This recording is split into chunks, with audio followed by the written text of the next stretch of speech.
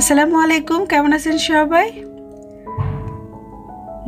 Blogger BD Helen channel থেকে আমি Helen আপনাদের সবাইকে নতুন আরেকটি ব্লগ দেখার স্বাগত জানাচ্ছি। চলুন, আজকে হচ্ছে শুক্রবার, সকাল থেকে ব্লগটি স্টার্ট করলাম। অলরেডি কিন্তু আমার পুরোটা বাসা গোছানো হয়ে গেছে। তো এদিকে আমি এখন বসে বসে চা খাচ্ছি। আর এই সময় হচ্ছে আমার হাজব্যান্ড বাজার নিয়ে আসলো। তো আজকে আমার ছেলে মেয়েদের পছন্দের বাজারগুলো করা হয়েছে। কারণ ও বাজারে না সবসময় এই ধরনের মাছ একদম টাটকা পাওয়া যায় না। তো আজকে যখন পেয়েছে, আমাকে ফোন করে বলল যে, নিব কিনা আমরা অবশ্যই নেবা। তো বলল যে যে কয়টা আছে সবগুলাই কিন্তু নিলাম। তো এখানে সামুদ্রিক মাছ থেকে শুরু করে এই যে কার্ফ তারপরে পাঙ্গাস, সব ধরনের মাছই এখানে আনা হয়েছে। সাথে ছোট মাছও ছিল। তো শিউলি তো মোটামুটি চিকেনটাও কাটা হয়ে গেছে। আর আমি আজকে রান্না করব চিকেনের বুকের মাংস দিয়ে। একটুখানি রান্না করব হচ্ছে চিলি চিকেন, আর সাথে করব হচ্ছে মাছের, আস্ত মাছের একটা ভুনা। তো এইটাও আজকে দুপুরে এটাই রান্না করব। আর লাউ শাক এনেছে, লাউ শাকটা ভাজি করে নিব। আর সাথে হচ্ছে ডাল। ডাল তো দুপুরে সকালে ভাতের সাথে আমরা কিন্তু ডাল রান্না হয়ে গেছে। এই জন্য দুপুরে আর ডালটাও রান্না করতে হবে না।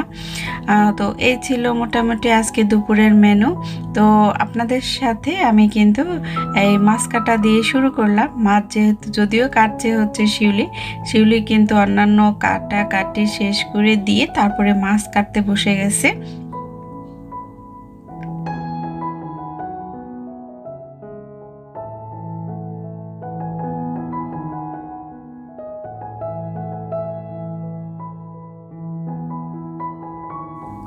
তো দুপুরে রান্না কিন্তু মোটামুটি শেষ। এই তো আমরা এখন সবাই মিলে খাওয়া দাওয়া করে নেব।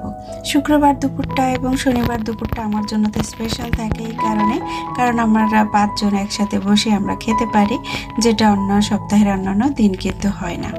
তো বাবা ছেলে নামাজ পড়ে চলে এসেছে, আমরা এখন সবাই মিলে খাবারটাকে সাধারণ খাবারটাকে অসাধারণভাবে এনজয় করব। আর আল্লাহর কাছে শুক্রিয়া করি, আল্লাহ আমাদের যা মাপিয়েছেন, হাজার হাজার শুক্রিয়া। তো সবাই মিলে তো খাওয়া দাওয়া করতে করতে এখন আমি আমার প্রিয় আপুদেরকে একটু বলে দিচ্ছি যে আমি কিন্তু গত কয়েকদিন আমার কৃতজ্ঞতা বোধ থেকে আমি আমার কয়েকটা আপুর নাম নিয়েছি।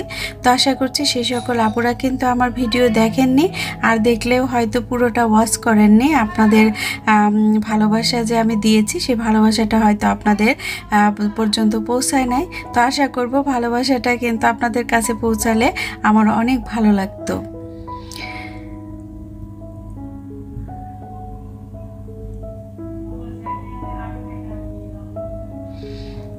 তো অনেকেই গতদিন আবার জানতে চেয়েছেন আমি সুর একটার দাম সম্পর্কে। তো প্রথমে যে সুর একটা দেখিয়েছি, সেই সুর একটা ছিল হচ্ছে হাতিলের এবং এটার দাম ছিল আঠাশ হাজার।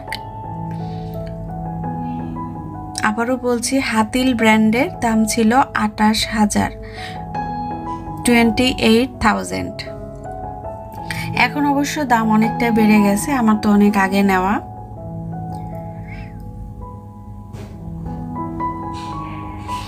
তো গত কয়েকদিন যাবতীয় আপনাদের সাথে একটি এলোমেলো ব্লগ শেয়ার করছি। আশা করছি সেটা কিন্তু ক্ষমা সুন্দর দৃষ্টিতে দেখবেন। আর যারা আমাকে প্রকৃত ভালোবাসেন, তারা কিন্তু আমার এই এই পথের সাথে সাথী হয়ে সবসময় থাকবেন, আশা করছি।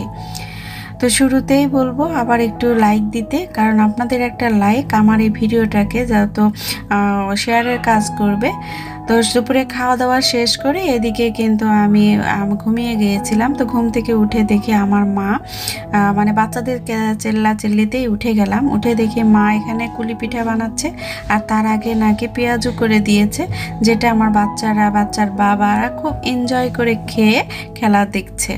আর আমি তো ইদানিং একদম খেলা দেখি না, বাংলাদেশের খেলা। মানে কোনো খেলায় ক্রিকেট খেলা আর ওইভাবে এনজয় করে আগের মতো দেখি না। আমার খুব টেনশন হয়, আমি এখন টেনশন একদম নিতে পারি না। যেখানে আনন্দ আছে, সেই জায়গাটা আমার ভালো লাগে। আমি টেনশন যেখানে আছে সেগুলো আমি খুবই অ্যাভয়েড করে চলি। আর যে সকল বন্ধুদের সাথে মিশতে গেলে আমার মনে কষ্ট লাগে এবং যে কথাটা আমি হয়তো নিতে পারি না যাদের সাথে, তাদের কাছ থেকেও আমি দূরে থাকার চেষ্টা করি। সেটা আমার প্রিয় বন্ধু থেকে শুরু করে প্রিয় আত্মীয় স্বজনও হতে পারে। আমি সবসময় ভালো থাকতে চেষ্টা করি এবং আমার দ্বারা যেন সবাই ভালো থাকে সেই কাজটা করার সবসময় চেষ্টা করি। তো এই তো এদিকে দেখে আমাকে ছাড়াই কিন্তু এরা পেঁয়াজটাও খেয়ে নিয়েছে, আমাকে কিন্তু ডাকেই নি তো আমি যখন এসে বললাম, এখন সবাই মিলে উঠে যে আসর আজান দিছে, ওরা নামাজে চলে গেছে। তো নামাজ থেকে ওঠার পরে আমরা কিছুক্ষণ আমি ওদের সাথে বসে খালা দেখলাম, তারপরে ময়জাকে একটু নিয়ে ছাদে গেলাম। ছাদ থেকে ঘুরে ফিরে এসে রেডি হয়ে মাগরিবের নামাজের পরে আমার এক ফুপুর বাসিতে গেছি। তো সীমা ফুপুকে অনেকেই যারা আমার রেগুলার ভিউয়ার্স তারা চেনেন। তো সীমা ফুপুর বাসায় অনেক দিন যাওয়া হয় না। তো ভাবলাম আজকে তিন বাচ্চাকে নিয়েই যাই। মা আছে যেহেতু, তো মাকে নিয়ে গেলাম। তো ওদের বাসায় আকস্মিকভাবে আমরা গিয়েছি। সারপ্রাইজ দিলাম সবাইকে। তো এই তো। ফুপুর হচ্ছে তিন ছেলে, তো ওদের সাথে তো হাবিবের খুব, হাবিব গেলে ওরা বেশি খুশি হয়, বিশেষ করে নেহান তো কথাই নাই। তো ও শুধু ভিডিও করছিল আর ছবি উঠাচ্ছিল। আর এদিকে এই যে সাদাব সাম্য, এরা সবাই মিলে খুব এনজয় করছে। আর আমরা কিন্তু গিয়ে তারপরে কিছুক্ষণ চা নাস্তা, যাই করে ধরে রাত্রে খাবার খেয়ে দে তারপরে কিন্তু বাসায় চলে এসেছি। তো এখানে এসে কিছুক্ষণ হচ্ছে মানে আমার হাজব্যান্ড ছিল একটু আমাদের সাথে আড্ডা দিল। তারপরে তার তো অবস্থা দেখে বুঝতে পারছি যে খেলা এখন শুরু হয়ে গেছে। মানে বিরতির সময় আমরা বের হয়েছি বাসা থেকে। তো খেলা শুরু হওয়ার পরে তার আর ভালো লাগতেছিল না। তো সে তো খেলা দেখবেই।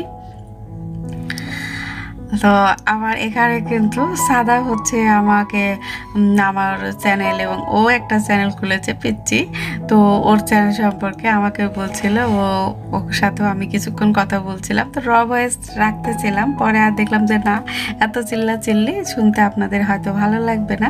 এজন্য কিন্তু আর আমি কথাটা রাখিনি। তো গিয়ে দেখি ফুপু হচ্ছে সুজির হালুয়া বানিয়েছে, তো সেটা আর কেউ খাচ্ছে না। যেহেতু খেজুরের গুড় দিয়ে করা, আমার খুব পছন্দ হয়েছে। আমি আর আমার মাই খেয়ে নিলাম। এদিকে আমার বাচ্চারাও না, ওর বাবাও না। তাই তো, বাচ্চাদের খেলাধুলা হচ্ছে ঘরের মধ্যে, তো ওরা ঘরের মধ্যেই খেলছে। তা হাবিবকে একটু দিলাম, না, সে তো মেয়েরাও খাবে না, হাবিবও খাবে না। আর এই তো আমার সাহেব, উনি খেলা দেখতে এখানে বসে গেছেন। আর ওনার দিন দুনিয়ার কোনো ধ্যান ধারণা তার ভিতরে এখন থাকবে না। সে খেলা পেলে আর কিছুই লাগে না তার। তার সাথে সাথে আমার দুই মেয়েও। তো যে আমি যাই বললাম, দেখো তোমার বাবা খেলা দেখা শুরু করে দিয়েছে। তো আমরা ঘরে বসে আড্ডা দিচ্ছি আর এদিকে বাবা আর মেয়েরা মিলে কিন্তু খেলা দেখছে। তো ফুবু তো আমরা যেহেতু হঠাৎ করে চলে এসেছি আর এতেও আমাদের জন্য একটু নুডলস করেছে, আর সুজির হালুয়া তো আগেই করা ছিল। আর দুপুরে যা রান্না ছিল তার সাথে একটু মাছ ভাজি করে আমরা কিন্তু রাত্রে খেয়ে আসলাম।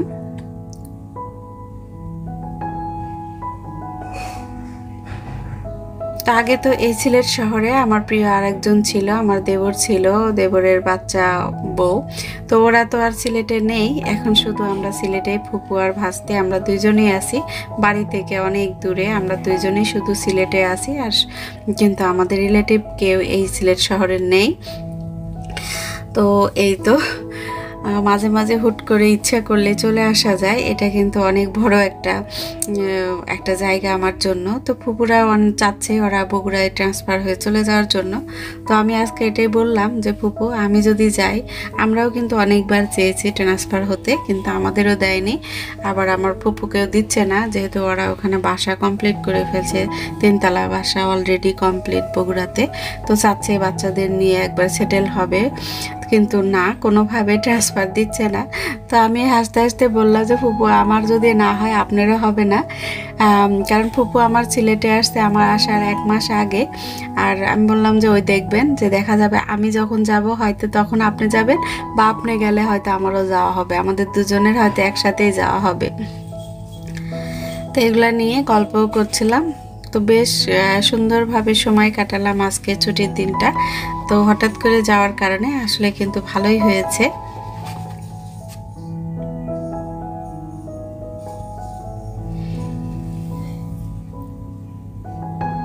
তো মা বলছিল যে, একটু ভালো হয়েছো আজকে বেড়াতে না যায়, আর কয়েকদিন একটু থাকো। তো বললাম যে, না, মন চাইছে আমি আজকেই যাব। তো বাসা থেকে কেউই বের হবে না, আমার বাচ্চারাও বের হবে না। পরে যখন বলার সাথে সাথে দেখলাম যে, না, মেয়েরাও রেডি হয়ে গেল।